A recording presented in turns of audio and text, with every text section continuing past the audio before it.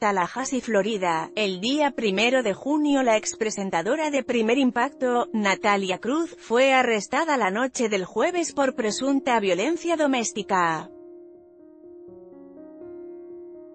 De acuerdo con lo que dijo la policía de Doral, en Florida, Estados Unidos, el esposo de Natalia Cruz, informó a las autoridades que la fémina había llegado tarde a su casa y en estado de ebriedad, lo que provocó una discusión entre ambos.